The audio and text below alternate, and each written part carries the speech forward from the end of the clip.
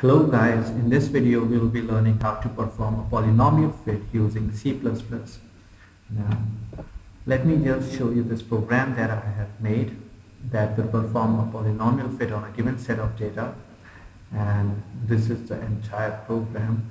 And in case you want this program then I will attach it in the description below and since it is quite lengthy it would not be in the description. I, cannot copy paste it into the description. However I will add a link to the code to the .c C file as well as my website. You can check out my website bragitoff.com just you know search polynomial fit right there in the search bar and you will get this program. Anyways so let's check out this program what it does so here set precision is meant to set the precision of your output to only four decimal places after uh, the decimal. Then enter the number. Uh, now I'm asking the user to enter the number of data places that he's going to be entering the data for. And I take the input as capital N and I declare two arrays x capital N, x of size capital N and y of size capital N.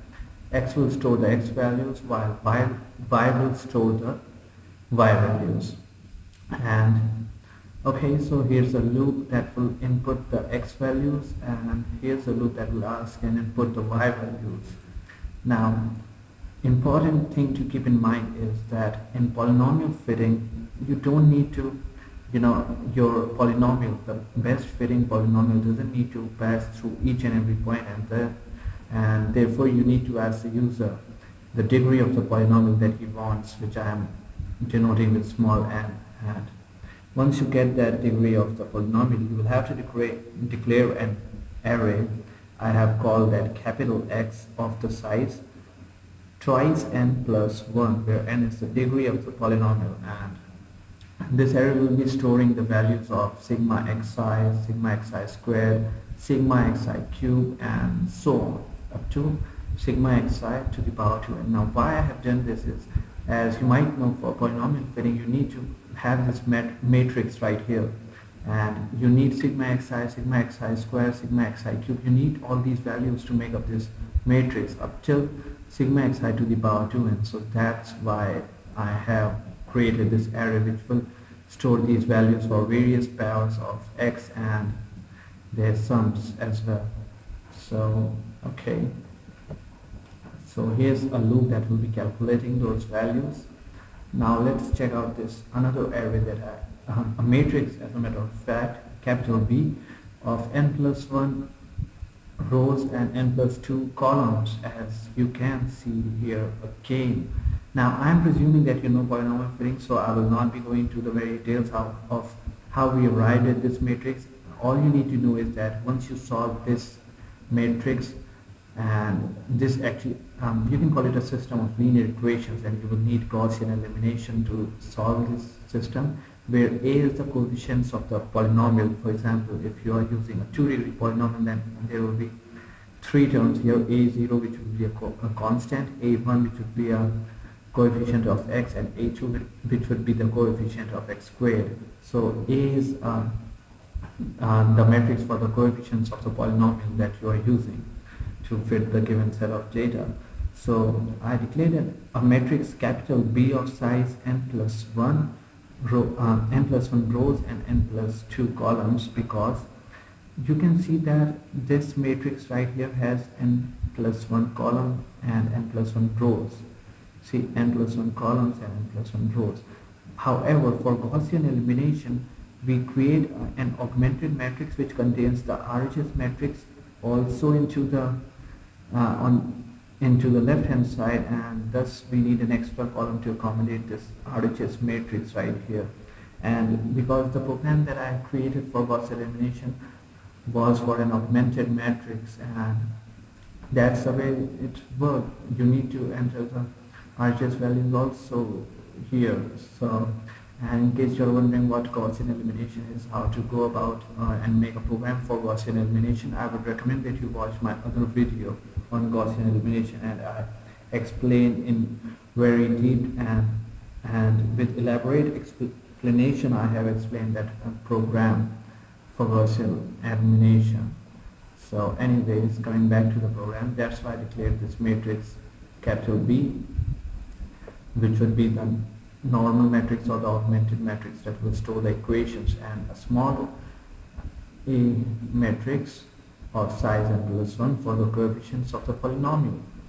Now here I am just building the normal matrix by storing the corresponding coefficients at the right positions except the last column of the matrix as you can see because um, okay so I'm just storing the I have calculated these values in the previous loop as I showed you this loop was meant for calculating these values and now all I'm doing is that I'm just I'm just storing these capital N at the first position, sigma xi at the second position, and so on. This loop is meant for doing that. And you should take, I'm sorry, this, um, yeah, this loop is meant for doing that, and you should take some time for, and give it a thought like what I'm doing by here. Now here's another matrix that I'm declaring here that is capital Y, and it will be storing the RHS matrix that I showed you right here, this RHS matrix. And here is the loop that will calculate these points up to the nth position. And by the size is n plus 1, as you can clearly see that there are n plus 1 elements in this matrix, or whatever, array, you can call it. So now I have stored those and now since I left the last column of this capital B matrix empty because I stored all these into their respective position, but I left the last column of that matrix empty because I needed to store these values there. So now I'll start a loop that will fill that last column of the B matrix with the Y values, which would be just replacing these values in um, these values by adding a column into this matrix right here. So that's the loop for that, this one. And um, well, I'm sorry, I'm referring to the wrong loop. This is this was for calculating the values, and this is for actually storing the loading the values of y as the last column of p, normal matrix but augmented.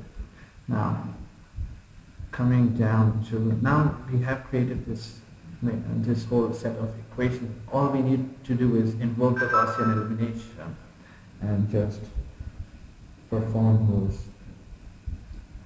um, operations to get these coefficients right here. Okay, so now here is the Gaussian elimination part that I will not be going into because it's pretty long. I made a 23 minute video explaining this. So if you have any questions regarding this, I suggest that you ask them in the comments after watching the video that I made on Gaussian elimination. So this is all Gaussian elimination, all this.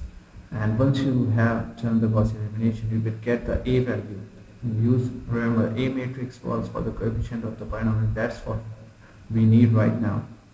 And then there's a loop to, you know, print those values of x to the power 0, x to the power 1. Because what a polynomial is simply you know a constant plus some coefficient multiplied by x plus some coefficient multiplied by x squared to degree n. So let's see how this program works when we run it. Okay, let's have a look at that.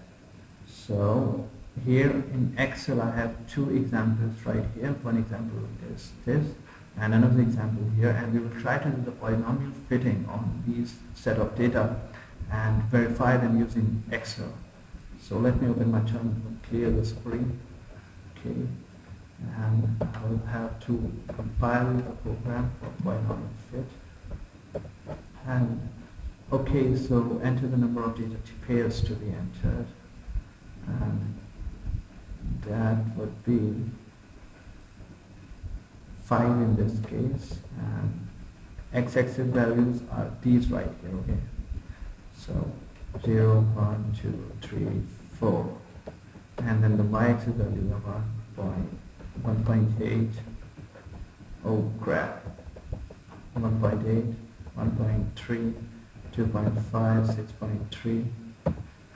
And the degree that I would want to use is 2. That is a quadratic polynomial or a parabola and I get the result as 0.55 x squared minus 1.07 x to the power 1 and 1.42 x to the power 0 so let me see if this if the if this result is correct by checking through Excel. And here's the graph the scatter plot. And let me just click on polynomial of degree 2 and have the equation displayed on chart. Okay so it is exactly the same equation that I got using X using C++ as you can see right here 0.55x squared minus 1.07x and 1.42 as the constant term right there now let's quickly verify this program using another example right here. Let's delete this and we will use this example now. And okay, let's run the program. Now number of data pages 5 and those are 1, 2, 3, 4, okay, 0, 1, 8.05, 26.906 and 63.9806 now as you can see it looks like a uh, you know a cubic polynomial because 1 cubes is 1 and 2 cube is 8 and 3 cube is 27 and 4 cube is 64 which is quite near to these values. So let me go ahead and use a third degree polynomial or cubic polynomial to uh, fit this data and I, I, have got this result now let me just verify it using the C++ uh, using Excel. Okay it is a, now this is a scatter plot. Let me go and have a trend line fit this data using a third degree polynomial and have the equation displayed on the chart. And once again we have come you know we have arrived at the same result. 1.0140 x cubed minus 0.0811 x squared plus 0.0946 to the power x and minus 0.0055 which is a constant.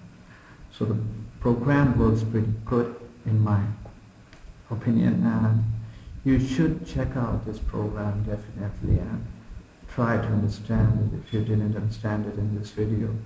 Okay now like the video if you like this video or explanation dislike the video if you dislike it and don't forget to subscribe and leave your comments in the comment section down below.